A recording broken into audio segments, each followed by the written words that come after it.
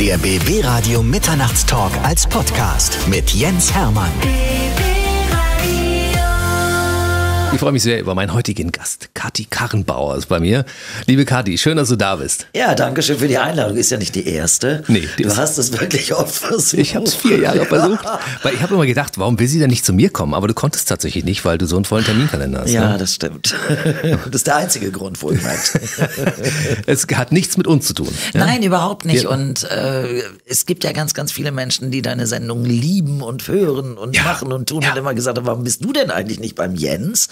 Und dann habe ich immer gesagt, ja, der Jens hat mich schon oft eingeladen, aber es hat nie geklappt aus Zeitgründen. Aber jetzt bin ich ja da. Jens, Das ist ich schön. bin da. Und jetzt können wir die komplette Kathi Karrenbauer Story mal ausrollen. Für, für alle Fans. Ich, ich kriege ja auch regelmäßig E-Mails. Dann fragen die Leute, Ja, Wenn die? Kathi kommt, erzählt die dann auch so viel wie alle anderen über ihr Leben? Ich sage, Naja, ich hoffe das natürlich sehr. Und noch mehr. Du bist im Jahr 2023, äh, 22, 23 im Jahreswechsel. Ich komme mal durcheinander, weil Ja, du bist ein. Silvestergeburtstagskind, ne? Genau, ich bin Silvester geboren und bin jetzt gerade 60 geworden in dem Jahreswechsel 22, 23. Unfassbar. Silvester Geburtstag zu haben, ist doch eigentlich äh, nicht so schön, oder? Ich habe am 19. Dezember, fünf, fünf Tage vor Weihnachten, ist aber immer noch besser als Silvester, ne? Ja, Silvester geht gar nicht. Also das war schon als Kind ganz schwierig. Also in, ähm, in ganz, ganz jungen Jahren sind, äh, meine Eltern haben sich ja sehr früh getrennt, als ich sieben Jahre alt war. Und wir sind dann mit meinem Vater in Wintersport gefahren. Das heißt, wir sind immer vor Weihnachten nach Duisburg. Ich bin ja ein Ruhrpottmädchen, Duisburger Kind. Und äh, sind dann über Weihnachten und Silvester im Wintersport gewesen. Das heißt, Fondue essen, das willst du als Achtjährige nicht. Nee. Auch als Neunjährige nicht. Du möchtest das nicht. Aber dann Weihnachten Fondue, Silvester Fondue, immer brav, nett aussehen, brav äh, sein. Dann natürlich ein bisschen Piste. Man ist ja Ski gelaufen. Und äh, eigentlich, wenn der Jahreswechsel rum war, dann musste man auch schon ins Bett, weil man störte bei den Silvesterpartys. Und später war das eben auch so. Ab 13 bin ich dann nicht mehr mitgefahren. Und ähm, es war aber immer schwierig, weil die Schulferien waren. Man hatte keine Kinder, die mit einem gefeiert haben. Dann Jugendliche, die verstreut waren. Bis heute ist es so. Ich habe meinen 40. Geburtstag gefeiert. Ich habe mit 28 meine erste Torte bekommen von einer guten Freundin. Da habe ich aber in der Gastronomie gearbeitet. Da konnte man nämlich immer viel Geld verdienen, weil Silvester wollte keiner arbeiten. Und äh, das habe ich immer gerne gemacht. Und ich war natürlich viele, viele Jahre am Theater und da spielt man die Silvestershows. Ne? Von Rocky Horror Picture Show über, ja, fängst Weihnachten an mit den Weihnachtsmärchen, Pünktchen und Anton dreimal am Tag und hast dann die Silvestershows und wir machten oft Rocky Horror Picture Show.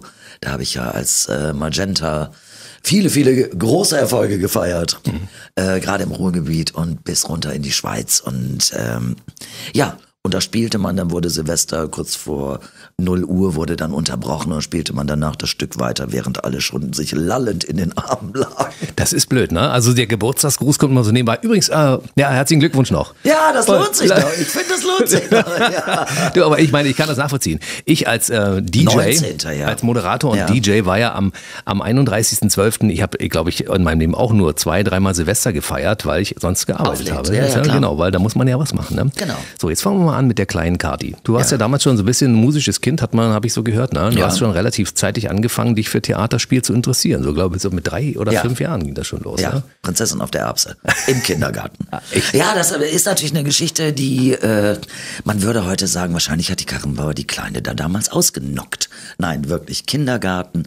Prinzessin auf der Erbse äh, wurde gegeben. Das machte man ja dann immer vor Eltern.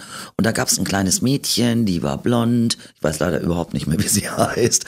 Ich erinnere mich aber noch, dass es so aufeinander geschichtete Matratzen gab. Und äh, unter einer dieser Matratzen lag ein kleiner Tennisball. Und das Mädchen, und wir probten natürlich, ich weiß gar nicht mehr, ob ich, ob wir ein Frösche waren oder was, ich habe keine Ahnung. Und äh, zu der Aufführung, zum Aufführungstermin wurde dieses Mädchen krank.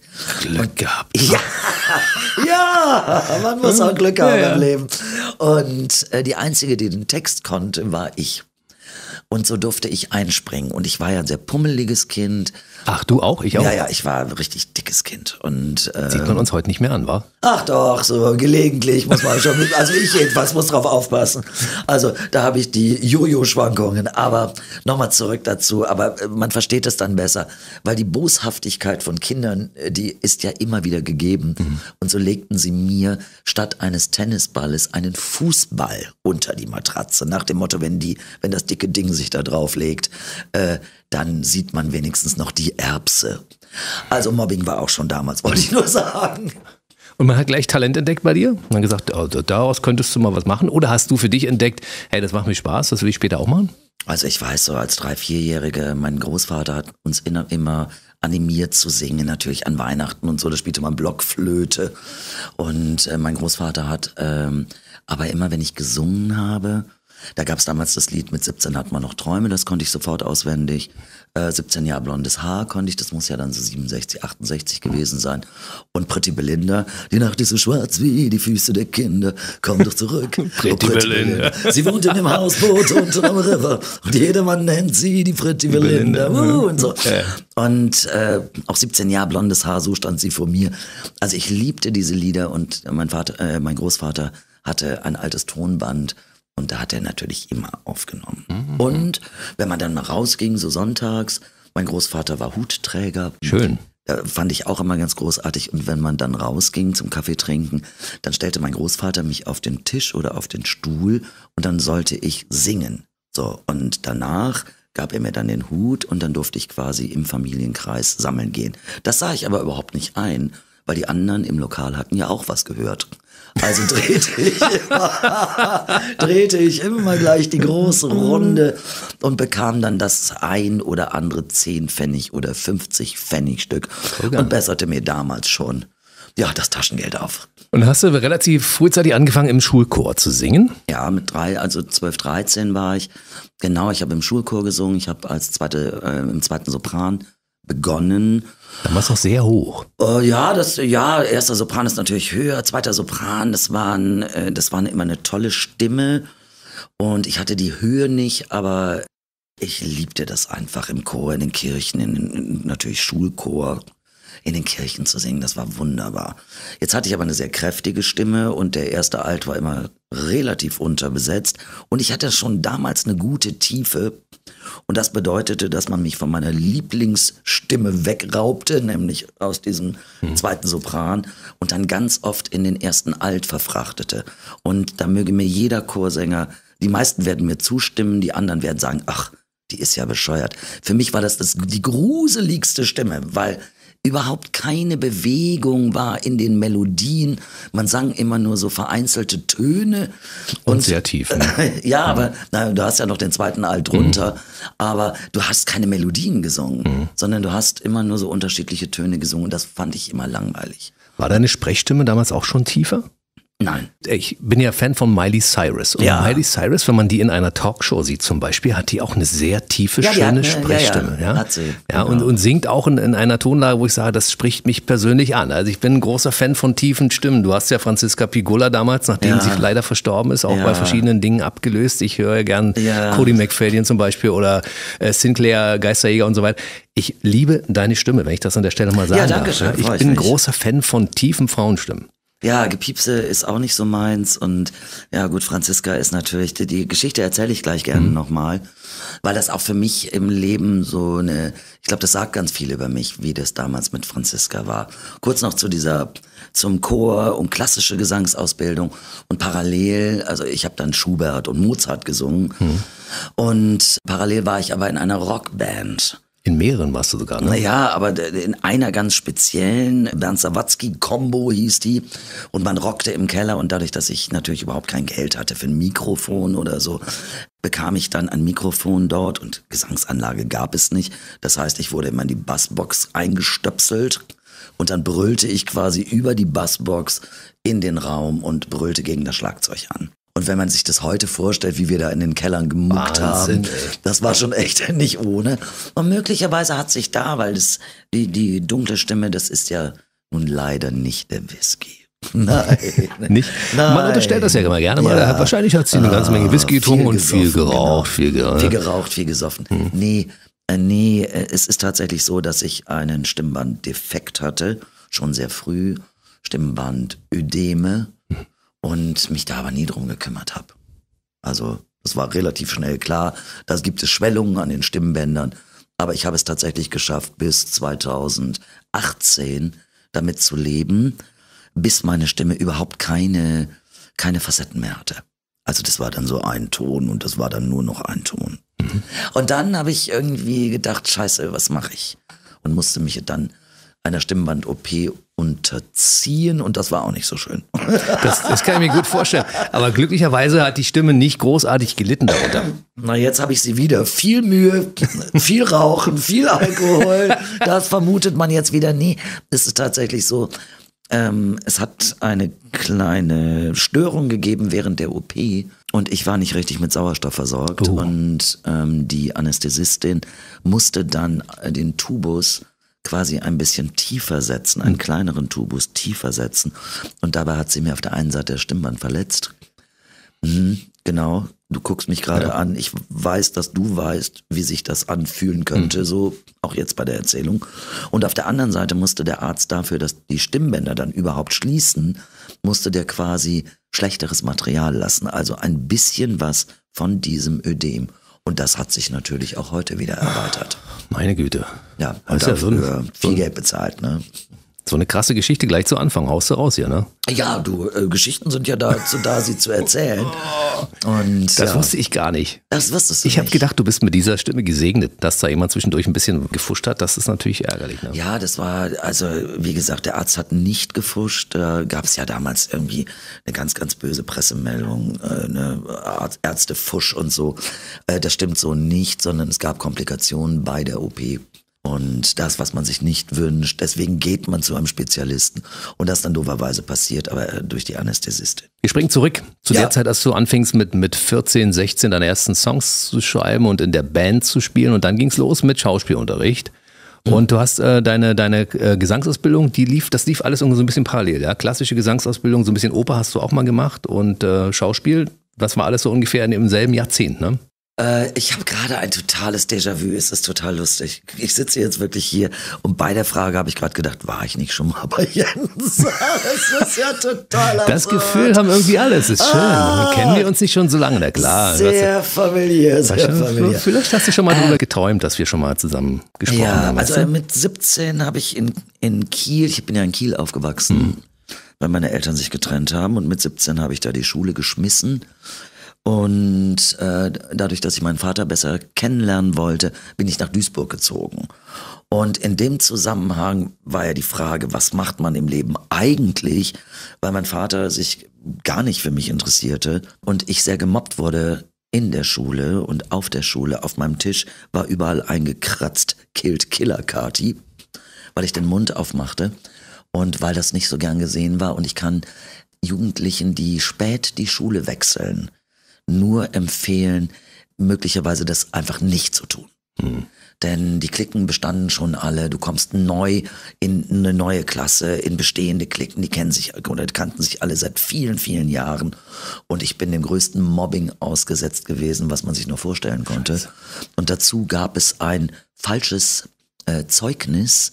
Und zwar hatte man damals hatte man ja Punktesysteme und die vier Punkte in Mathe, was quasi eine vier Minus war, ähm, die wurden bewertet in Kiel als eine 5. Dann hätte ich aber nur drei Punkte gehabt. Und ich war also, ich kam und man nahm mich am, äh, an diesem, an dieser Schule in Duisburg am Gymnasium auf und ich sagte, ich bin versetzt. Und dadurch, dass die Sommerferien, das versteht man ja, ähm, der Norden hatte immer anders Sommerferien mhm. als der Süden oder als Mitteldeutschland. Und so hatte ich nur drei Wochen Zeit und dann kam quasi mein Zeugnis und da stand dann nicht versetzt. Ich war aber jetzt schon drei Wochen lang, ich musste meine Leistungskurse ändern, meine Prüfungskurse. Ich hatte vorher Kunst- und Englisch-Leistungskurs in Kiel. Das gab es in Duisburg nicht. Also musste ich dort, ich habe äh, dann Deutsch- und Französisch-Leistungskurs genommen und so weiter. Also ich hatte da eine Menge Probleme. Und dann kam dieses Zeugnis, dann ähm, stand da drin, ich wäre nicht versetzt. Dann wurde ich als Betrügerin tituliert. Ach, Schande. Der Direkt, ja, ja, es war eine Höllenzeit. Der Direktor ließ mich also jede große Pause ausrufen durch den Lautsprecher von Herrn Karrenbauer bitte zum Direktor. Und dann musste ich da vorstellig werden, musste mich da hinsetzen und musste mir anhören, dass ich betrügerisch sei und dass ich die Schule bitte verlassen soll und so weiter und so fort. Und in der Zeit durch dieses Mobbing und ich bin ja auch eine Kämpfernatur, habe ich mir dann überlegt, also ich wurde dann zurückversetzt ins nullte Semester, ich war ja eigentlich im zweiten Semester, wurde zurückversetzt und ähm, mein Deutschleistungskurs ging zu dem Zeitpunkt nach Monschau auf Klassenfahrt und ich wollte da unbedingt mit. Und dann hat meine Mutter mir geholfen, das zu regeln in Kiel. Dann haben die das, also aus diesem Rückversetzt, wurde ich wieder in die zweite, also ins zweite Semester versetzt, weil dann ganz klar war, da ist ein Fehler passiert. Dann sagte man mir, ich hätte den Dr. Brandt, hieß der damals, der stellvertretende Direktor in Kiel vom Ernst-Barlach-Gymnasium, ich hätte den bestochen, damit er mir meinen Lebensweg nicht verbaut. Das war natürlich alles Humbug. Also es war so bitter. Und ähm, ich wurde dann rückversetzt, aber meine Klasse, mein Leistungskurs war schon unterwegs. Und dann habe ich beschlossen, ich reise hinterher. Und es waren äh, elf Jungs und ein Mädchen, ich weiß noch, äh, sie hieß Birgit.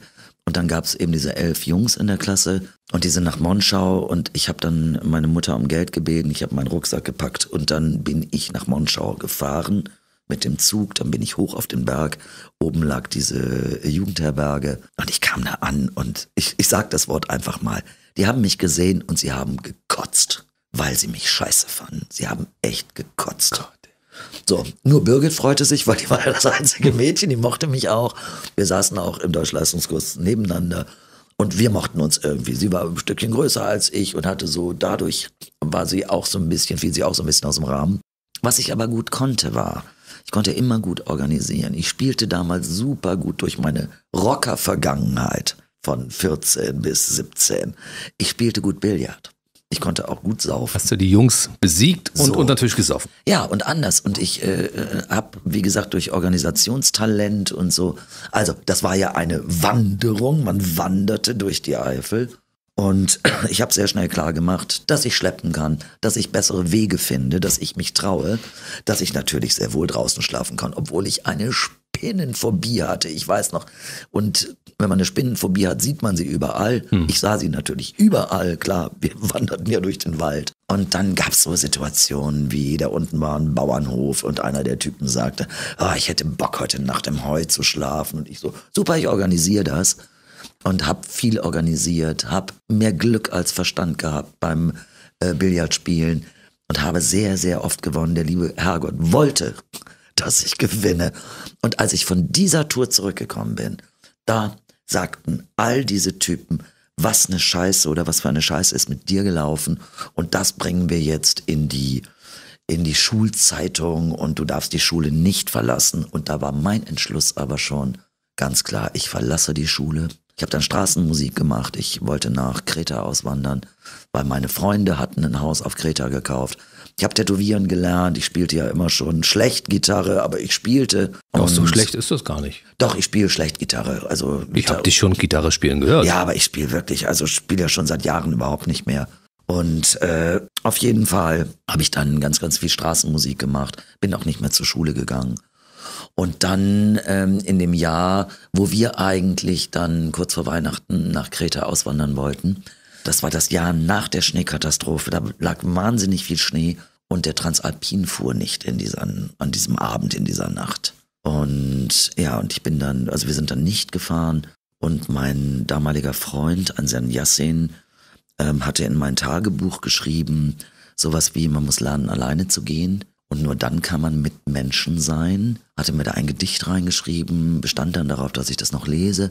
Und äh, ich habe das als Ablehnung mir gegenüber verstanden und habe dann am frühen Morgen beschlossen von Duisburg aus, ich hatte ja jetzt wirklich nur noch den Rucksack, so selbstgestrickte Handschuhe von meiner Mutter und die Gitarre und habe dann beschlossen, ich fahre nach Kiel, ich fahre zurück in die Heimat und gucke, was ich dort tun kann. Und das habe ich auch gemacht. War da auch nicht so wirklich willkommen, aber bin dann dort auf die Schauspielschule gegangen. Mhm. Und so begann eigentlich die Zeit als junge Schauspielerin, auch ein bisschen als Rebellin natürlich, Meine alte Schauspiellehrerin wurde dann äh, selber von ihrer eigenen Schule gemobbt, zwei Jahre später. Und ich bin dann aus purer Loyalität mit von der Schule gegangen und habe dann direkt am Theater begonnen, Kinder- und Jugendtheater, habe da als Dramaturgie- und Regieassistenz, Mitspielverpflichtung äh, gearbeitet, ohne Geld, habe nachts in den Kneipen gearbeitet, habe als Türsteherin gearbeitet, habe Klos geputzt, habe für die Arbeiterwohlfahrt gearbeitet, habe für Omis und Opis geputzt und habe mir deren Lebensgeschichten angehört und war auf meiner Reise angekommen. Hast du zwischendurch meinen entsetzten Gesichtsausdruck gesehen? Ja, also ich habe richtig mitgelitten. Ich dachte, wenn man als junger Mensch solche schlimmen Dinge erlebt, was macht das mit einem? Ja, das macht viel mit einem. Aber das Wichtige ist eben, äh, später gab es ja mit einmal den Spruch, hinfallen, aufstehen, Krone richten, weitergehen. Aber das hatten wir früher nicht. Nee. Ich bin, äh, ich bin Steinbock. Ich lasse mich nicht so leicht unterkriegen. Es gibt aber viele, viele Dinge, die mich natürlich persönlich verletzen. Das habe ich durch den Verrat an meinem Vater, den habe ich auf frischer Tat ertappt mit sieben Jahren und habe ihn verraten. Hab meiner Mutter erzählt, dass mein Vater, äh, wo er sich befindet, und er war bei einer anderen Frau und das war bei ihm einem schlechten Film. Und diese, dadurch entstehen ja auch bei Kindern, gerade wenn Eltern sich trennen, da entstehen so viele Schuldgefühle und die habe ich ja durch mein ganzes Leben getragen. Eigentlich teilweise manchmal auch bis heute. Und äh, auf der anderen Seite ist es so, alles, und da sagte man ja auch immer so schön, alles, was dich nicht tötet, macht dich härter. Und es ist tatsächlich so, also solche Situationen töten einen sicherlich nicht. Aber sie, wenn du das überstehst und wenn du dein Lachen wiederfindest, dann bist du irgendwie doch ein bisschen gewachsen. Und ich bin eigentlich immer am Leben gewachsen. Und deswegen in der Rückschau, wo ganz, ganz viele Leute dann fragen, was würdest du heute was anders machen? Ja, sicherlich das eine oder andere. Aber im Wesentlichen war mein Ansatz immer, ich möchte morgens in den Spiegel gucken können. Ich muss wissen, wer mich betrachtet, wer da rausguckt. Und das, toi, toi, toi, jetzt klopfe ich mal auf Holz, äh, das habe ich bis heute geschafft. Und ähm, da bin ich sehr stolz drauf. Bei allem Rückblick, egal ob das jetzt Promi Big Brother ist oder Dschungel oder Umwege, die man ja im Leben auch gegangen ist. Bei allem. Ich habe niemanden in die Scheiße geritten. Ich habe das, meine Dinge nie auf dem Rücken anderer gemacht. Und äh, darauf bin ich einfach sehr, sehr stolz. Und alles, was da ist, ist meine Energie, mit meiner Energie entstanden. Meine Güte, diese Schicksalsschläge. Vom Vater verraten und verstoßen, in der Schule gemobbt, von der Schule geflogen. Du warst, glaube ich, auch mal Opfer häuslicher Gewalt damals. Ja, ja, ja. All diese Dinge und die erlebst du, sagen wir mal, vor 20. Das ist doch Wahnsinn. Mhm. Ja? Da, wo man normalerweise behütet aufwachsen soll, wo, wo man Schutz bekommt von Eltern und von Familie. Ja, ja, aber wir wissen ja heute, auch in der heutigen Gesellschaft ist es ja einfach nicht so. Ne? Es gibt viel Mobbing, es gibt viele sehr, sehr unglückliche Menschen. Und äh, wenn Menschen unglücklich sind, sind sie meistens auch ein bisschen ungerecht oder sie neigen dazu, ungerecht zu sein. Und ich glaube, äh, das haben wir heute wie damals. Dieses behütet.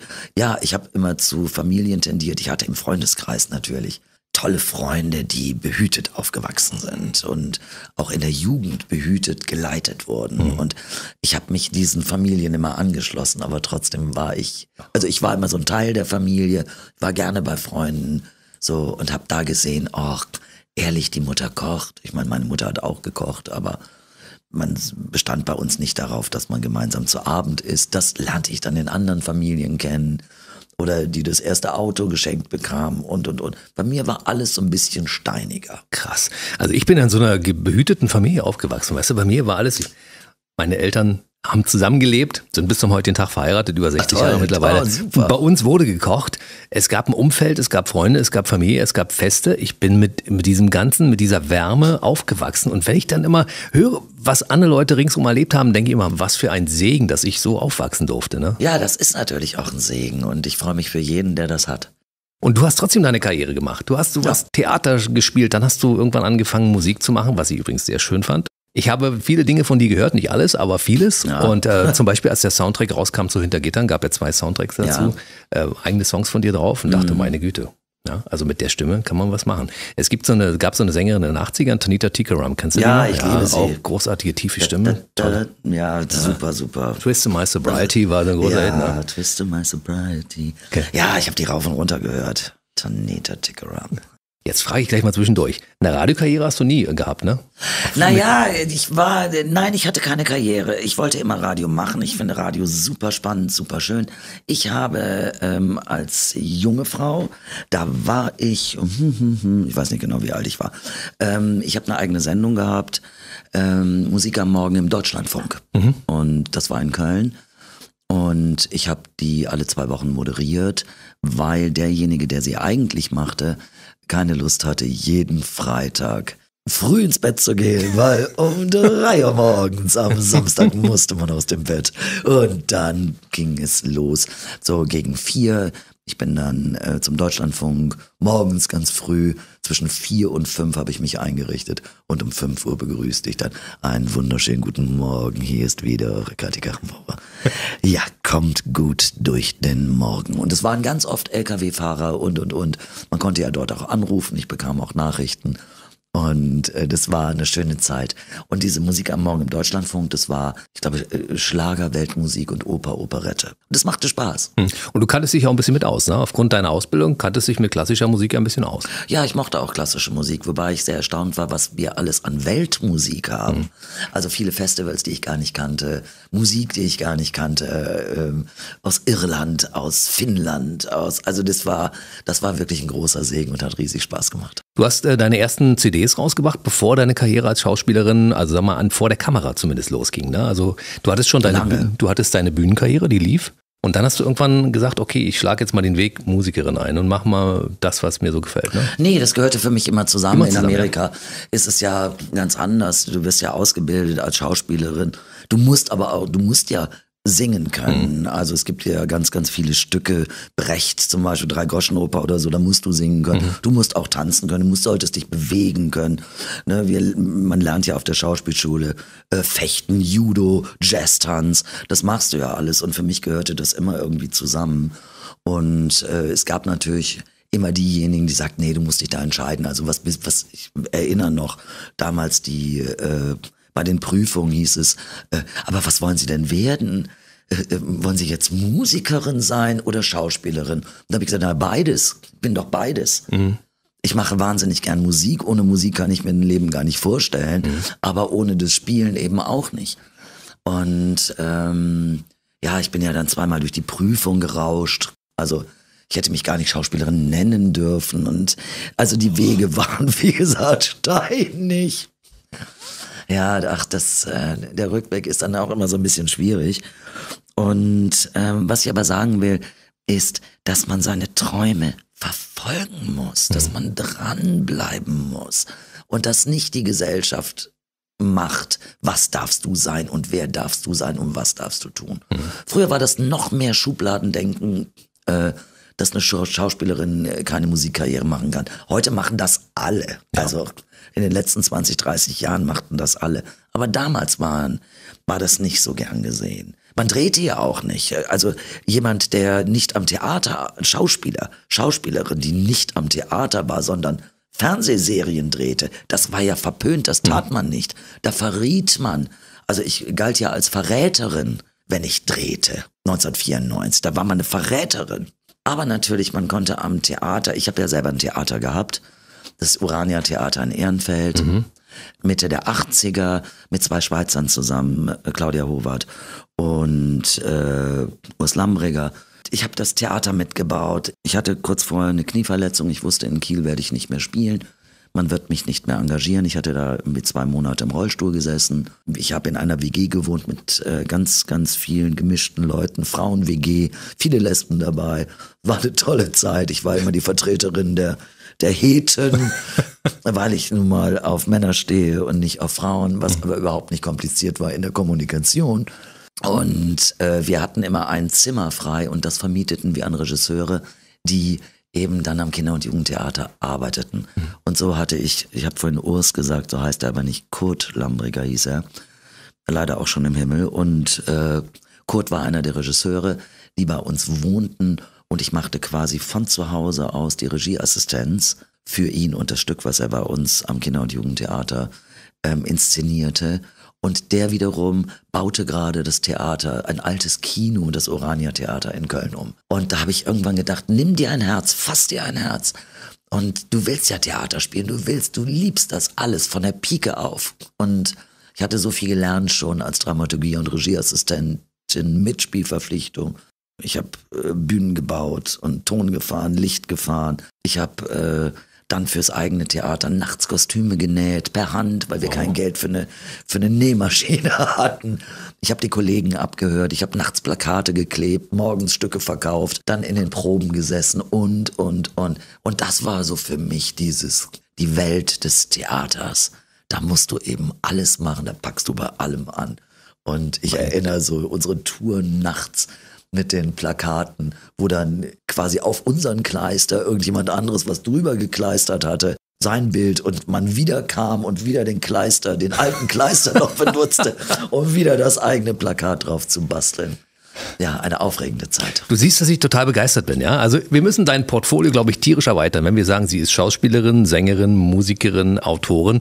Du bist ansonsten noch alles andere. Du bist Schneiderin, Technikerin. Also ich, meine mal, Güte, ey. Ich kann ganz, ganz viele, viele Leute wundern sich immer, wenn es irgendwo ein Problem gibt zum Beispiel. Ne? Oh, das Kostüm da passt jetzt nicht oder so. Also ich habe immer relativ schnell eine Lösung. Ich versuche immer lösungsorientiert zu sein.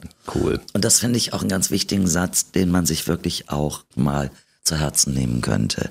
Menschen reden immer über dies und das Problem. Und bei mir ist es ganz oft so gewesen, dass ich gesagt habe, erklären Sie mir nicht, was nicht geht. Sagen Sie mir doch einfach nur, wie es geht.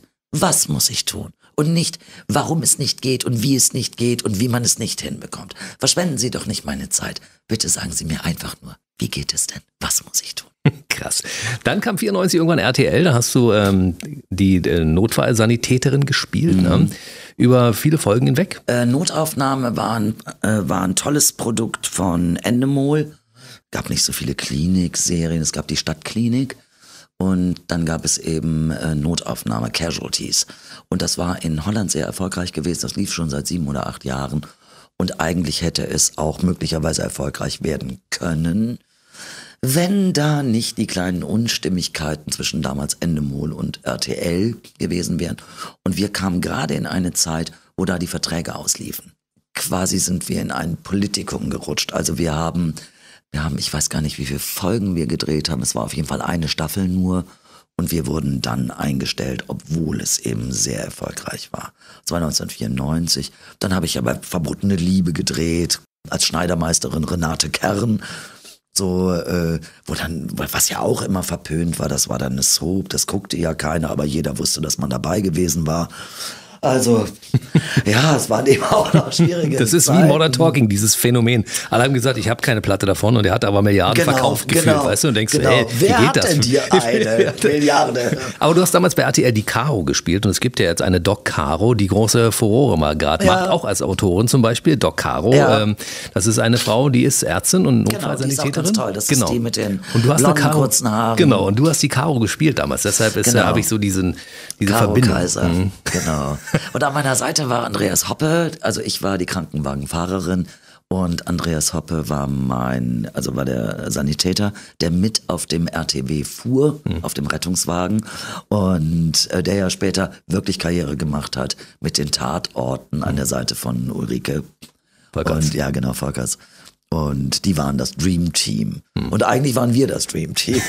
weil wir beide so ein bisschen indianisch angehaucht. Hätte auch gut gepasst. Hätte, du als, ja, du als Kommissar, du hast ja schon Kommissarin gespielt. Also ich meine. Na, da war ich hätte, RTW, da habe ich hm? nur den Rettungswagen gefahren. Aber ich meine, hätte gut gepasst. Aus meiner Sicht hättest du auch gut die Kommissarin an der Seite hey. von einem großen Kommissar am Tatort spielen können. Das wäre auch ein gutes Team geworden. Ich habe übrigens bis heute keinen einzigen Tatort gedreht. Ja, das ist schade. Aber da vielleicht hört jetzt jemand zu und sagt, Mensch, wieso haben wir die noch nicht besetzt, die Kati? Was ist denn da los? Ja, ich weiß auch nicht. Also irgendwie ich finde es sehr schade, weil natürlich der Tatort zu der Königsklasse gehört. Absolut. Und äh, versuche das schon seit 20 Jahren mal eine Rolle beim Tatort zu bekommen. Habe das auch immer wieder gesagt und habe mich auch beworben, als für Duisburg damals ein Team gesucht wurde. Das wurde ja dann das Dortmunder Team. Natürlich habe ich mich beworben, natürlich habe ich gesagt, hallo, wäre ein Mädchen aus dem Ruhrgebiet nichts. Aber dann kamen dann die Mädchen aus dem Ruhrgebiet, die waren dann auch schon 30 Jahre jünger. Also Ach, ich will nicht klagen. Alles ist gut, solange man nach vorne guckt. Genau, du strahlst über beide Ohren, Augen, ja, du, strahlst, Ohren. du strahlst mich einfach an, das ist das Schöne. 97 ging es dann los mit äh, Hintergitter, ne? Genau. Das war ja so die Erfolgsserie. Da hat man dir so einen Stempel verpasst, ne? Und äh, heutzutage ist es ja auch so, dass man sagt, naja, ach, die Karrenbauer, ach, Walter, mm. alles klar. Mm. Ist das auch so ein bisschen hinderlich gewesen vielleicht für, für künftige Projekte? Weil du hast ja da zehn Jahre in der Serie Walter verkörpert und warst mit der Serie sehr erfolgreich. Manchmal bekommt man ja so einen Stempel und sagt, okay, man kommt aus, aus, aus der Nummer nicht mehr raus, ne? 7.7.97 haben wir angefangen zu drehen. Ab dem dritten gab es Testdrehs drei Tage lang und dann haben sich zwei Menschen bei mir entschuldigt, die mich gar nicht in dieser Serie haben wollten und die mich nur, es wurden ja 4000 Frauen gecastet und man hat mich mehr oder weniger einfach nur genommen, weil man nichts Besseres gefunden hat, in Anführungsstrichen. Mhm. Aber die Rollenbeschreibung war eigentlich so, man wollte eine große, eine große Blondine haben mit kurzen Haaren und großen Brüsten und langen Beinen. Und das war eigentlich so ein Typ Brigitte Nielsen mhm. damals. Und guck mich an, ich meine, perfekt. Ich finde es perfekt besetzt. Also, äh, all das war ich nicht, werde ich nicht mehr werden und war ich nicht. Aber ich kam und ich hatte große Lust. Hm. So, und diese Lust und Spielfreude, weil das einfach eine Spielwiese für Erwachsene war. Die hat sicherlich dazu gereicht und natürlich auch gute Drehbücher. Und die Idee, dass das so ein bisschen, also Walter war ein, war Robin Hood für Arme. Die Christine. Ja, Christine Walter, alias Walter, war wirklich, sie hat sich den Menschen oder ja, sie hat sich den Menschen angenommen, die schwächer waren. Also immer gegen die Stärkeren, für die Schwächeren. Und ähm, ja, das Herz am rechten Fleck auf der Zunge, mhm. gegen Drogen, gegen gegen Falschheit und und und und äh, hatte so einen so einen Beschützercharakter und das ist den Menschen geblieben und ich weiß noch die ersten Begegnungen, ob das der kleine sechsjährige Junge war, der mich erkannte, wo ich dachte, warum sitzt der denn überhaupt um Viertel nach neun abends vom Fernseher mhm. und kennt mich? Mhm. Bis hin zu sehr viel älteren Leuten. Mhm. Türken, die sich entschleierten vor mir und mir ins Ohr flüsterten, ich wäre so gern so stark wie und sich dann wieder verschleierten und krass. Omis, die sagten, hätte ich das mal alles früher gewusst, dann hätte ich meinem Alten aber auch mal was erzählt. Und, und, und, also das war eine unfassbar spannende Zeit. Und zu deiner Frage, Schublade, natürlich. Wenn du das zehn Jahre machst, das ist wie J.R. Ewing mhm. bei Dallas und oder aus Dallas, Denver und so kennt man das. Die negativen, den Anführungsstrichen negativ wirkenden Figuren, das waren immer die Jane Collins. Das waren immer die, die, die im Kopf blieben. J.R. Ewing bleib, blieb doch im Kopf. Mhm. Und ähm, gibt es ja auch viele, viele andere Beispiele von Menschen oder Schauspielkollegen, die eine Rolle gespielt haben, sehr lange geprägt haben und wo dann alle anderen dachten, der kann nichts anderes. Aber als Schauspieler oder Schauspielerin tritt man natürlich an, um unterschiedlichen Figuren Leben einzuhauchen und mhm. unterschiedliche Facetten zu zeigen. Aber hinter Gittern war eine Spielwiese und ich durfte ja alles spielen. Mhm. Alles wirklich, bis hin zu, dass ich dann irgendwann gesagt habe, nee, also ich möchte gern reiten, ich möchte Motorrad fahren. Also Leute, man darf hier nichts. Man durfte ja keine Sportarten ausführen, die dich möglicherweise verletzen und für lange Zeit lahmlegen konnten. Hm. Also insofern war das immer alles verboten. Kein Skifahren, kein Tauchen gehen, kein Fallschirmspringen wollte ich sowieso nicht. Kein Tauchen, kein Tiefseetauchen und, und, und. Aber dann fiel auch schon Rollschuhfahren aus und es wurde so viel verboten. Und irgendwann habe ich dann gesagt, also ich brauche jetzt mal eine lange Auszeit. Und dann haben sie ein Drehbuch geschrieben und drängten mich immer an, liest es doch mal. Und ich so, nee, wir gehen jetzt erstmal in die Sommerpause. Nein, liest es doch mal. Und da hatten sie echt eine Story geschrieben, das war total süß. Wirklich mir zugehört. Also Walter Klauten haut ab in die Freiheit, klaut einen LKW, klaut dann ein Motorrad, obwohl ich gar, ich hatte gar keinen Motorradführerschein. Den habe ich erst danach gemacht. Klaut dieses Motorrad und dann fährt sie aufs Land mit diesem Truck und da steht natürlich ein Pferd und sie sattelt und sie reitet und ich war glücklich, wow. ja. Aber guck mal, heute 15, 16 Jahre später reden die Leute immer noch drüber. Das heißt, du hast in der Zeit viel, viel Gutes und viel richtig gemacht. Ne? Ja, sie reden auch, glaube ich, heute darüber, weil die Wiederholungen seit ungefähr drei, vier Jahren laufen. Du kannst ja jeden Montag äh, damals auf RTL Passion, jetzt ist es RTL Up. Äh, du kannst ja umsonst fünf, sechs Folgen hintereinander gucken, jeden mhm. Montag. Und alle haben dich in der Realität auch für den harten Burschen gehalten. Also der Walter, die Walter, na, das geht ja. Viele haben ja gesagt, der Walter. Ja. Ich sage, es ist eine Frau. Äh, Walter. Ja. Äh, ja es geht, oh, ich bin ein Mädchen. Es ist Christine Walter. ja, ja? Aber, Entschuldigung, das ist eine Sie. Ja, aber Walter nee, nee, ist Walter. ist der Walter. Ja, das kann nicht der Walter sein. aber es ist so, die Leute haben den Artikel einfach versaut. Wa? Aber meine lustigste und ich war da so böse, war, kam ein, ja, ganz jung war der Mann nicht mehr, aber er stellte sich vor mich und sagte, hey, ich weiß genau, wer du bist. Du bist doch, du bist doch, du bist doch. Und ich so, wer bin ich denn? Und er so, ah, du brauchst gar nicht so tun, du bist doch, du bist. Ich so, ja, wer bin ich denn? Er so, du bist, ich weiß es genau. Hey Leute, wisst ihr, das ist doch, du bist doch. Und ich so, ja, wer denn jetzt? Und er so, Werner. Du bist Werner. Und ich so. Beinhart. Und ich war so knochentrocken und habe gesagt, weißt du, ich war vieles in meinem Leben, aber Werner war ich noch nicht. Und ich habe mich umgedreht und bin gegangen. Und ich habe mich viele Jahre immer noch, heute noch dafür geschämt, dass ich nicht gesagt habe, ja, nee, das hieß anders. Ich dachte so, nee, Werner bin ich nun wirklich nicht. Und bin gegangen. Du bist doch der, du bist doch. Du bist Werner.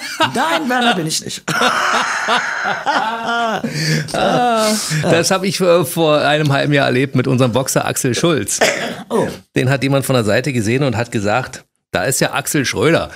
Also der Oi. hat oh. Axel Schulz und Axel Schröder, du weißt, manchmal macht das Gehirn ja, ja seltsame ja, Dinge. Ja, ja, auch mit mir. Ja, ja, es gibt seltsame Dinge. Das mit dem Motorradführerschein, darauf muss ich gleich mal zurückkommen. Du hast zu dem Zeitpunkt noch keinen Motorradführerschein gehabt, Nein. weil du bist ja mal mit einer Harley hoch und runter, äh, ja. die USA hoch und runter und das wurde ja sogar irgendwie filmisch begleitet, die ganze Geschichte. Ne? Also, ich habe bei RTL, es gab ja immer wieder unterschiedliche Shows und da gab es den großen Führerschein, die große Führerscheinshow. Und ich bin die Einzige gewesen, die da einen Motorradführerschein gemacht hat. Ich habe also parallel zu meinen Dreharbeiten sowohl in Berlin als auch in Köln, wo ich ja auch noch meinen Erstwohnsitz hatte, ähm, war ich auf der Fahrschule, war ich in der Fahrschule hm. und bin Motorrad gefahren.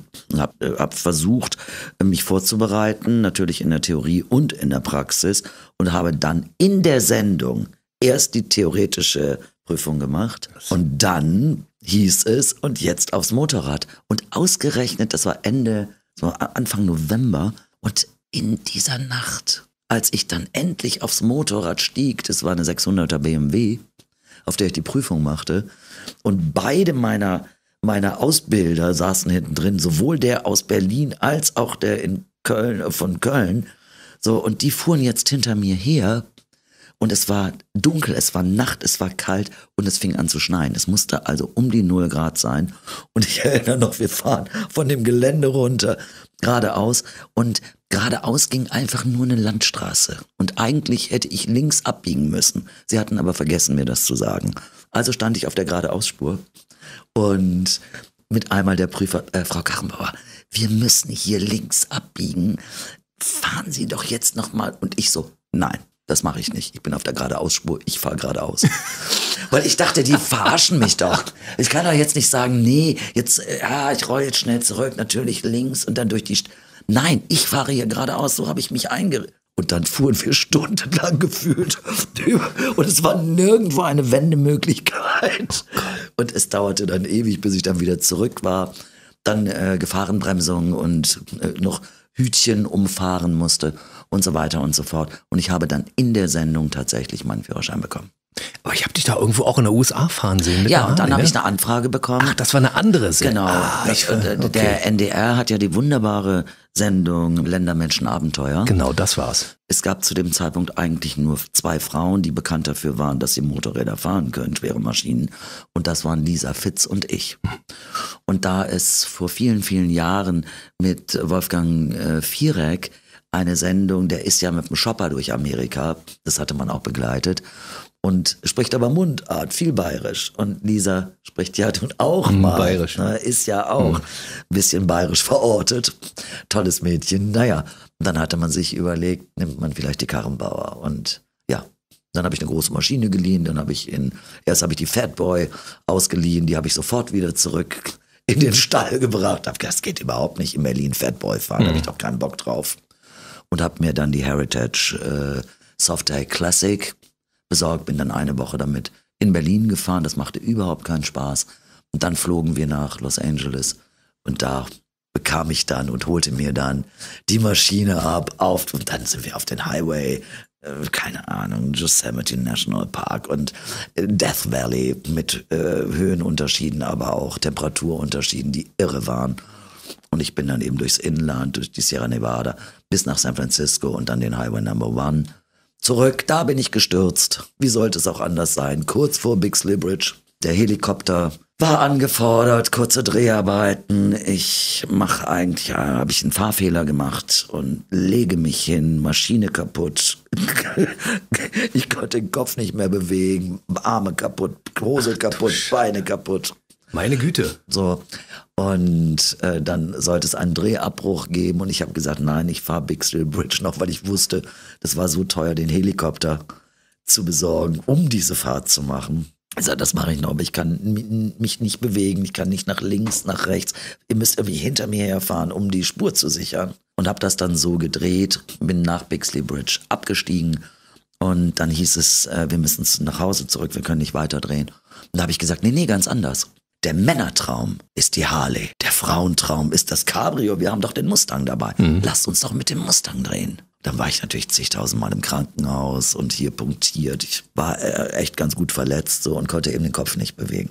Mensch, Kati. Aber wie gesagt, wir haben das zu Ende gedreht. Ich hab dann, bin dann auf den Mustang umgestiegen und, und dann die letzten 14 Tage habe ich so gedreht. Unfassbar. Ich habe von einer Knieverletzung erfahren, schon während unseres Gesprächs jetzt. Ich weiß, dass du in Bad Segeberg hm. von der Kutsche geflogen ja. bist oder du hast, du hast einen Harley-Unfall gehabt. Du hast schon einiges erlebt an, an ja. Unfällen in der Zeit ja. deiner Karriere, ne? Ja mal von der Bühne gefallen, bei, einer, bei der Live-Musik, ja. beim, beim Drehen noch andere Verletzungen von. Jetzt äh, als Stimmbandverletzung haben wir ja auch noch gehabt. Also du, wir haben schon, das ist ja Wahnsinn. Äh, äh selbst ja, dein, deine Krankengeschichte füllt ja schon eine halbe Stunde hier alleine. Nein, weißt du? ach Quatsch, ach Quatsch. Nee, ich will damit einfach nur sagen, natürlich passieren einem Dinge, vor allen Dingen doch immer dann, wenn man es nicht darf. Also ich habe zum Beispiel zwei Pferde gehabt, ich habe sie aber beide nie geritten. Hm weil ich wusste, ich bin so ein Trottel, ich kann ja auch nicht gut lügen. Und wäre ich reiten gegangen, wahrscheinlich wäre ich vom Pferd gefallen und hätte mir was getan. Also habe ich die dann immer gepflegt und habe Hufe gekratzt und habe mich an den Tieren gefreut und bin mit denen spazieren gegangen. Und andere haben sie geritten. Ich muss mal an der Stelle ganz kurz sagen, ich freue mich, dass du mit 60 so fit und vital und gesund bist. Ja, ja. das äh, finde ich, finde ich richtig toll. Wir beide haben Corona überstanden. Insofern ja. hat es uns ja Nach beide auch kom komplett ausgehebelt. Ja. Wir, wir beide, ja. wir beiden gesunden Menschen wurden komplett niedergestreckt. Unfassbar. Und, und jetzt ich war so eine Mimose. Mi, mi, mi, mi, mi. So habe ich echt, au, au, au, au, au, so habe ich im Bett gelegen und dachte. Mir ging es genauso Wahnsinn. schlecht. Manchmal habe ich das Gefühl, so, ist da nicht doch noch ein bisschen was übrig geblieben? Aber das hat was mit Berlinale oder mit den, mit den Dingen, mit den Anforderungen zu tun, die man mhm. so im Leben hat. Und Hans Dampf in allen Gassen, also mhm. in dem Fall Walter Dampf in allen Gassen, ne? Nee, ich, das ist schon Kati, das ist schon Kati. Walter ist schon lang vorbei. Ja gut, natürlich, logisch. Also ich, ich habe so gedacht, wenn ich mit Kati über ihre Lebensgeschichte erzähle, brauche ich wahrscheinlich drei Stunden und ich muss am Anfang unserer, unserer Erzählung sagen, ich entschuldige mich mal schon im Vorfeld, dass wir nicht alles heute schaffen werden. Wir müssen also noch zwei, drei weitere Termine machen, um das überhaupt alles hinzukriegen. Aber ein paar Sachen müssen wir natürlich unbedingt noch ansprechen, weil du bist ja auch Erfolgsautor. Ne? Das erste Mal, dass du ein Buch geschrieben hast, waren es Gedichte, glaube ich. Ja, ich habe immer geschrieben. Ich habe mir immer alles von der Seele geschrieben. Das ist gut. Immer. Als, hm. als Kind schon habe ich Gedichte geschrieben oder habe meine eigenen Songs gemacht. So. Also waren die schon da, als du damals den Gedichtband geschrieben hast? Hattest du schon Sachen, die du in ja. deinen Aufzeichnungen hattest? Ja, ja, ja. ja. Ich habe immer, ich immer Tagebuch geschrieben und immer Gedichte geschrieben und habe dann daraus die für mich wichtigsten rausgenommen und habe daraus ein Gedichtband gemacht. Die Freiheit nehme ich mir. Das war ähm, ein Bestseller. Mhm. Den gab es auch als Hörbuch von dir gelesen. Nein, ich habe gar keins meiner Bücher zu, zu Hörbuchqualität gebracht. Nicht Nein, ein einziges. Mhm. Es gibt äh, ein Buch ohne Worte, das ist aber nicht meine Geschichte, sondern das ist das Buch von Daniel Kall, der eine tolle Geschichte geschrieben hat. Ich bespreche auch viele Hörbücher. Und es gibt ein ganz, ganz tolles Buch, das heißt Ladybag. Das habe ich aufgenommen und das ist eine tolle Geschichte über eine alte Dame, die auf der Straße lebt. Und äh, ich spreche ja viele Hörbücher, synchron und so weiter und so fort. Aber meine eigenen Bücher habe ich nicht eingelesen. Lass uns kurz über Franziska Pigula reden. Das ist ja auch eine sehr bekannte Synchronstimme und die ist ja leider verstorben. Sie hat damals auch sehr viel für BB Radio gesprochen, unter anderem auch Akte X, Scully war sie und so. Und du hast ja von ihr die Rolle irgendwie übernommen. Wie kam das eigentlich zustande? Es gab eine Live-Show und es gab eine Live-Lesung und da war Franziska schon sehr krank und dann fragte man mich, ob ich bei der Live-Lesung einspringen könnte. Mhm. Und ich habe das dann relativ schnell zugesagt, weil ich auch ziemlich oft als Hexen, da gab's ja, gab's ja, oder gibt's ja ganz, ganz viele unterschiedliche Figuren bei äh, John Sinclair. Und ich habe da, hatte da einige Sachen schon gesprochen. Und ähm, dann ging es eben nur um dieses Live, diesen Live-Auftritt. Und den habe ich dann gemacht. Und dann gab es eben die Anfrage vom Verlag, ob ich mir vorstellen könnte, für Franziska die Jane Collins zu übernehmen. Und dann habe ich gesagt, das geht für mich nicht. Ich möchte das nicht machen, aus folgendem Grund. Franziska lebt und äh, ihr die Hoffnung zu nehmen, dass sie zurück kann zu dem, was sie liebt, das möchte ich nicht. Aber wenn du sie besuchst und du der Meinung bist, und sie lag da wirklich fast schon im Sterben, ich sag, dann frag sie doch, ob sie einverstanden ist, wenn ich das so lange mache, bis sie wiederkommt. Und Franzi hat zugestimmt. Und Franzi hat, ja, und ließ mir ausrichten, dass sie sich sehr freut, dass ich das übernehme. Und sie hat mich ja auch mal synchronisiert tatsächlich in einem Film. Und da war ich sehr dankbar und dann habe ich das guten Gewissens machen können. Ganz ehrlich, ich habe ja am Anfang immer gedacht, also mir würde da was fehlen, ne? weil, weil ich ja erklärter Franziska Pigula-Fan ja. war, Schrägstrich bin. Ne? Ich meine, Franziska war ja immer so eine, die war ja eher eine tolle Radiosprecherin. Ja. Ich bin ja eher so eine emotionale Sprecherin. Hm. Ich gehe ja als Schauspielerin da in die Tiefe, was oft gar nicht gewollt ist. Und ich habe ganz schöne, schöne, tolle Sendungen auch sprechen dürfen, die ich jetzt gerade verloren habe, weil man da doch eher die Nachrichtensprecher haben möchte und gar nicht dieses Emotionale. Siehst du, aber in diesem Format dürfen wir emotional ja, sein und müssen wir sogar. Das neueste Buch hast du äh, über deinen Vater geschrieben und mhm. du hast ja am Anfang unseres Gesprächs gesagt, dass der dich damals gar nicht wollte. Und jetzt kümmerst du dich ganz liebevoll und rührend um ihn. Dein Vater hat Demenz und ähm, braucht natürlich jemand, der sich um ihn kümmert. Und der Titel des Buches ist natürlich ein Knaller.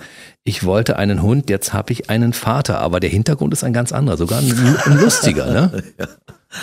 Also es ist tatsächlich so, dass ähm, vor genau vier Jahren ähm, die Frau, die spätere Frau meines Vaters, mich anrief und mich fragte, ob ich mich mal zwei Tage um ihn kümmern könnte, weil er war im Krankenhaus und musste entwässert werden, weil er vorher eine Herz-OP, Herzklappen-OP gehabt hat.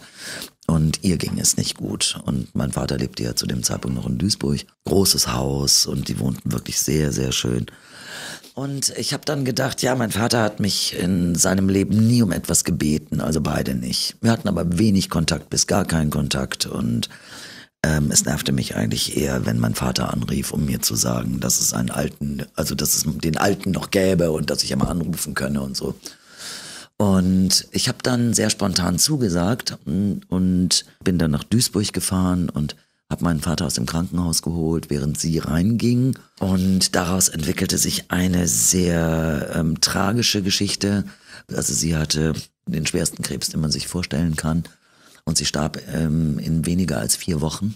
Und äh, mein Vater schlief zu dem Zeitpunkt 16 Stunden am Tag. Und die letzten Worte, die sie sagte, waren, ähm, was wird aus Ditz, aus Dieter? Und ähm, mir war klar, dass ich mich um ihn kümmern werde. Ich konnte ihn einfach nicht allein lassen. Das, äh, mit all dem, was er an verbrannte Erde hinterlassen hat, trotzdem konnte ich es nicht. Und habe gedacht, das ist mein Vater. Und eigentlich war ich ein Papakind, auch wenn ich seit dem siebten Lebensjahr kaum Kontakt zu ihm hatte. Und ich sah das irgendwie als menschlich wichtig an, zumindest zu klären, wie geht man damit um. Aber ich wusste gar nicht, dass mein Vater fortschreitend dement ist, was die Sache nicht vereinfachte. Ich habe ihn dann, also das kann man dann alles in dem Buch lesen, wenn man möchte. Ich freue mich, weil das Thema Demenz ist so wahnsinnig wichtig. Ich stelle fest, jeder und jede, den ich begegne, kennt jemanden, der jemanden kennt oder hat jemanden in der Familie, der Demenz hat. Wir wissen es heute von René Weller, aber wir wissen es jetzt auch von Bruce Willis, der ist 67 Jahre alt, mhm. jetzt mit einer schweren Alzheimer-Demenz. Und ähm, es kann jeden von uns treffen, dass man sich auf dem Wege seines eigenen Lebens verliert. Mhm. Und ähm, dadurch, dass mir das so wichtig ist, habe ich diese Geschichte geschrieben und habe meinen Vater ja zu mir nach Berlin geholt. Aber ich hätte nicht mit ihm zusammen wohnen können, weil er viel zu viel Hilfe braucht. Mhm. Bei allem. Mein Vater ist 90 Jahre alt. Und ähm, so entstand eben eine Geschichte. Es ging um einen Hund. Ich habe immer Hunde gehabt. Mein Vater hatte früher immer Hunde, fand aber nicht gut, dass wir dann als Kinder Hunde haben wollten und einen Hund haben wollten. So, und dann tauchte eine französische Bulldogge auf und hopste an meinem Vater hoch und ich guckte so und sag, oh Mann, Papa, ich möchte auch so gern wieder einen Hund. Und dann entstand das Gespräch und dann sagte er irgendwann, dafür hast du doch gar keine Zeit. Dann sag ich, wieso habe ich denn keine Zeit für einen Hund, Papa? Nee, du hast doch mich. Und ich, ich so, da fingen wir beide an zu lachen. Dann sage ich, äh, Papa, verstehe ich das jetzt richtig? Du sagst mir jetzt, ich kann keinen Hund haben, weil ich dich jetzt habe oder was? Also quasi, ich wollte einen Hund, jetzt habe ich einen Vater. Und er so, ja genau. und sehr trocken. Und als ich das Buch, ich habe ja sehr früh angefangen, das Buch zu schreiben, und ich dachte, ich muss das irgendwie festhalten wie absurd und wie hilflos man sich fühlt, wenn man jemandem nicht helfen kann, weil man auch keine Hilfestellung bekommt. Man weiß nicht wohin. Alle Demenzen sind anders. Man weiß nicht, an wen man sich wenden soll. Wie kann man zuarbeiten? Wie schafft man es, das Gedächtnis anzuregen des anderen, damit er nicht so schnell verschwindet? Wie sind die Stadien? Da gab es ja ganz viele Berichte von sehr bekannten Leuten, die ich angeschrieben habe. Niemand von denen hat sich zurückgemeldet. Im Übrigen. Echt nicht? Nein, niemand hat sich zurückgemeldet. Das war für mich sehr schwierig. Und ich habe mich dann durch Lektüre gebissen und das Buch ist ja Ende letzten Jahres, also im Dezember erst rausgekommen. Ähm, das hat einen kleinen Hype erlebt. Jetzt ist es auf Platz 175.000. Und dadurch, dass ich noch keine Lesungen machen konnte, die jetzt aber kommen? Die kommen aber auch nicht in der Menge. Also ich bin auf der Leipziger Buchmesse am 30. April bei Hugendubel ich habe einige Termine. Ich bin am 8. Juni am Timmendorfer Strand. Das ist immer eine sehr schöne Location. Da kann man, und es ist auch nicht super teuer. Man kann da das Buch auch erwerben und kann auch Fotos mit mir machen, weil wir behaupten ja alle, Pandemie ist vorbei. Obwohl ich im Bekanntenkreis und gerade auch bei meinem Vater im Alten- und Pflegeheim gibt es immer wieder Corona-Fälle und ich werde ja auch jeden Tag getestet. Deswegen darf ich so schön und lange bei dir sitzen. ja, das ist gut, ja. Ohne dass ich das Gefühl habe, ich stecke dich an. Ich muss aber gleich tatsächlich heute noch ein Telefon besorgen, denn das ist in der Toilette verschwunden mhm. bei meinem Papa. Also äh, es gibt schöne, lustige Geschichten, es gibt auch viele traurige Geschichten in dem Buch. Es gibt ganz, ganz viel über mich und mein Leben. Und was eben auch wichtig ist, dass ich mich sehr ehrlich versuche, damit auseinanderzusetzen. Wie ist das eigentlich mit dem Verzeihen? Wie ist das, wenn man hört, wer A sagt, muss auch B sagen? Warum beharren Menschen immer darauf, dass sie lieber ihr ganzes Leben lang nicht mehr miteinander sprechen, so wie ich das auch teilweise mit meinem Vater hatte, äh, ohne zu verzeihen? Und was braucht es, um einem Menschen einen schweren Fehltritt zu verzeihen? Und das ist auch meine Auseinandersetzung. Es ist kein Buch für unterm Weihnachtsbaum, ich verstehe das aber es ist eine kleine Hilfestellung und auch ein Blick auf die Dinge, dass die meisten Menschen eben nicht alleine sind. Und vielleicht auch die Anregung, nochmal zu sagen, hm, da habe ich mich mit der besten Freundin gestritten. Was war eigentlich der Grund? Und wenn sich dann herausstellt, es war ein Krabbensalat, den sie aufgegessen hat oder irgendwas anderes Unsinniges, dann kann man die Dinge auch mal wieder angehen und lösen.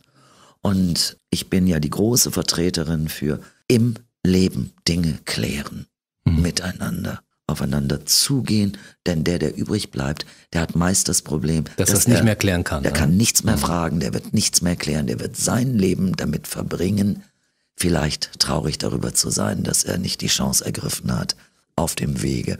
Das war mein Verzeihen meinem Vater gegenüber. Wir sind heute beste Freunde. Ich möchte keine Sekunde mit ihm missen. Ich bin gerne mit ihm zusammen. Es ist mühsam, es ist anstrengend. Er läuft weg. Er erkennt mich immer noch. Das ist wichtig. Er weiß, dass es mich gibt. Aber vorgestern zum Beispiel komme ich rein und er ruft, Kati! Und ich so, äh, ja. Und dann sagt er, Mensch, ich habe mit allem gerechnet. Nur nicht mit dir. Und aber war ich einen Tag davor ja auch da, wie jeden Tag. Und diese Überraschung, also er wird weniger, ich merke das. Er verschwindet zunehmend, aber ich habe vier tolle Jahre geschenkt bekommen, die sau anstrengend war. Ich habe mit jedem Menschen Mitgefühl, der jemanden, der dement ist, zu Hause pflegt, überhaupt für Pflegepersonal viel zu schlecht bezahlt und, und, und. Es gibt so wahnsinnig viele wichtige Themen in diesem Bereich und die möchte ich peu à peu angehen und sagen, guckt bitte.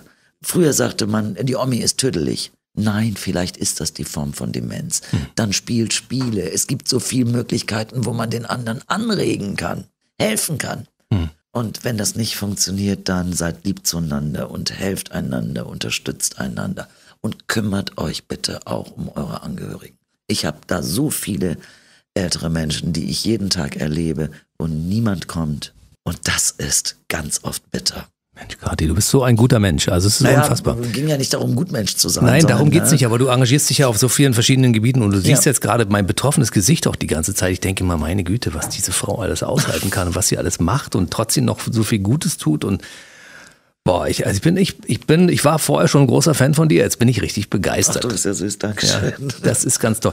Jetzt mal eine Frage, du hast ja vorhin gesagt, mit den Hörbüchern, das kannst du vielleicht das dann einlesen? Ja, das werde ich machen. Das ist eine gute Idee. Ich habe auch nochmal ein Gespräch drüber gehabt, ich werde das machen, das ist Bitte. eigentlich auch der Plan. Wobei, wie gesagt, es ist schwere Kost auch für mich und ich brauche ein bisschen das merke ich eben auch, weil es so in die Tiefe geht. Es geht um Tod, es geht um Leben, es geht um Verzeihen. Es ist meine Geschichte und die ist wirklich, früher nannte man das Deep Shit. Und äh, auch wenn es lustige Momente gibt, es ging um die Würde und aber ich tue mich gerade noch ein bisschen schwer. Ich brauche vielleicht noch mal so ein, zwei Monate, gut, um den Abstand zu haben zu meinem eigenen Buch. Der Abstand zu, die, der Abstand zu diesem Gespräch wird hoffentlich nicht so lange dauern. Ja, ja. Also die, die Fans von Kati Karrenbauer können dich ja in den sozialen Kanälen abonnieren. Ne? Bist du zu finden unter ja, Instagram, Facebook. und so, ne? genau. bist, bist, du da? Da findet man auch jede Menge Dinge. Mach jetzt gleich mal eine schöne Story hier. Machen wir ne? eine schöne Story, das ist ganz wichtig. Kati Karrenbauer in den sozialen Kanälen abonnieren. Wir sehen uns wieder zu Teil 2 und 3, weil ja, du hast gesehen, ich klebe an deinen Lippen. Ja, ja du bist ganz süß. Und weißt du, was ich ganz niedlich fand vorhin? Du hast dich so auf das Mikro gestützt mit dem Gesicht. Also ja, das ist meine Zuhörer, genau. Oh, ich, ich denke, ist ja auch schon mitten in der Nacht, aber. Ja, ich, ich denke die ganze Zeit, bitte nicht aufhören zu sprechen, bitte nicht aufhören, bitte weiterreden, bitte weiterreden. Aber ich glaube, unsere Zeit ist erstmal um für heute. Ja, ne? leider. Ach Mensch, Kati. Wir machen das nochmal ein andermal. Es gibt noch ganz, ganz viel zu berichten. Und dann auch wieder Neues. Ja, Super. Ich freue mich sehr, dass du da warst. Dankeschön für die Einladung. Bleib schön gesund. Bis zum nächsten Mal. Gute Nacht. Der BB Radio Mitternachtstalk. Jede Nacht ab 0 Uhr. Und jeden Freitag der neueste Podcast.